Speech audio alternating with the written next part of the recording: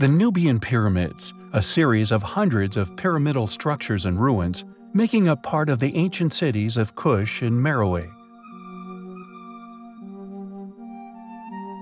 The structures incorporate styles from many different, equally ancient ruins from around the world, displaying to all the reach of this once global civilization. The first recorded settlers in this part of Sudan date back as far as 300,000 years, with the civilization that is claimed to have built and indeed painted these structures are dated as far back as 4,000 years. The city of Kush is renowned for having the finest pottery in all the Nile Valley, evidence of the builders' past capabilities. Yet what we found the most interesting about the ruins is a decorative piece found within one of these ancient structures within the ancient city of Meroe.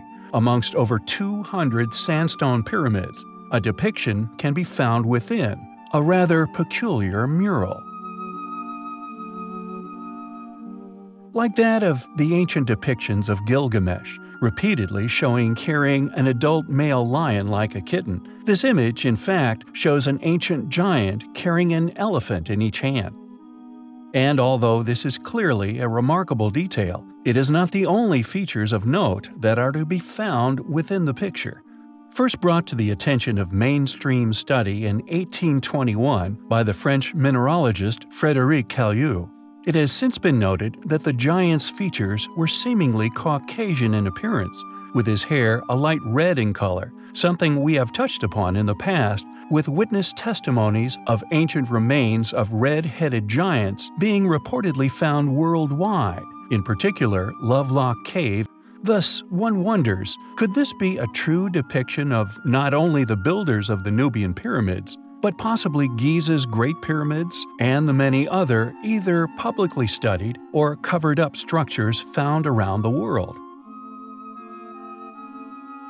It is a possibility which we find incredibly compelling.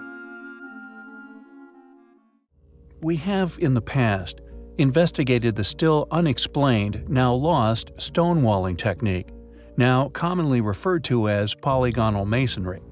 We have described the incredible feat that this technique involved, the mystery of how an ancient civilization once cut and perfectly fitted together these enormous jigsaw puzzles sometimes comprised of megalithic blocks weighing many tons in weight. However, we have also covered the coalescence of this polygonal technique with another, which has become known as Cyclopean within Italy, with the Cyclopean walls built upon those by those who possess the ability to create polygonal masonry, all but proving that this Cyclopean technique predated that of seemingly more competent polygonal technique. But just how old these techniques are, or indeed the age of these structures themselves, is now lost to history. However, our next area of interest may shed some light on these sites' considerable age, if you consider the evidence that the site itself presents. Known as the Pelasgic Wall, it is located upon a gigantic, once leveled natural rock within the Acropolis of Athens. The wall, during the time of Thucydides, was claimed to have stood several meters high and six meters broad. It surrounded the entirety of the ruin, with a large visible fragment of the original wall, demonstrating this claimed scale still standing and located upon the southern side close to the original entrance. Yet today, the beveling can be seen, but the wall has all but vanished, with the foundation of the wall laying below several feet of natural sediment buildup indicative of a tremendous age. Said to have been built by the Pelasgians, hence the name given to the wall. Not only does the sediment present at the site suggest a far more tremendous age, but the sheer size of the structure, along with the rock it now sits upon that was entirely leveled at some point within ancient antiquity, all points to an ancient feat far beyond the capability of known ancient Grecians and just like that of polygonal masonry, predictably can be seen at sites just like that of polygonal, which are often surrounded by controversy when it comes to the claim, construction and origin of said sites. We logically conclude that these attributions to different groups within known history, easily identified in other locations where these groups never ventured, is solid proof that those who state such false truths know they are indeed being deceptive. It is a ruin which we find highly compelling. It is now an undeniable reality that our planet's climate is changing. The pollution we as a species are creating atmospherically and environmentally is undeniable. And although many are oblivious to this effect, or sadly they simply don't care, there are countless others who are passionately invested in cultivation, salvaging, and repairing the damaged parts of our planet's habitats. Iceland, in particular, is taking on the climate shift in their country by using a method left by a lost civilization. Having minimal scattered and declining forest habitats in the country, top horticultural specialists are now seemingly mimicking a technique which, thanks to heavy historical research, is a method rediscovered for its origins being Peru, possibly during the polygonal era. And then the climate changes the winters have become milder. Many of the trees that we planted in the 1950s, especially Siberian larch, are literally dying after several decades of being reasonably good. The genetics of forest trees are important. These are all things that are genetically determined in the trees. And through the years, we've found the species that we can use, and now we're selecting individuals that are best adapted bringing them together in a seed orchard and using their offspring in afforestation.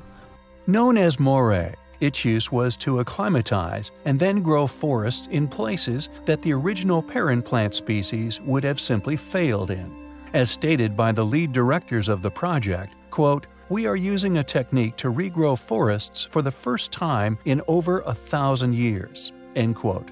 Referring to the supposed Incan site, Moray a site in which we ourselves established its purpose via our own research. An enormous terraced garden which practiced strain selection and phenotyping. It consisted of growing out many plants, selecting plants with highest vigor, thus better established for said environment, raising their altitude with every selected generation, until, eventually, they could grow sea level herbs, fruits, trees, and all other types of plants high above the clouds. We find the fact that Iceland is finally recreating intact, unbroken forest ecosystems with a prehistoric technique which, if applied in other areas of the planet experiencing decline in ecosystems with the utilization of modern technologies, could have immense potential. A truly genius creation.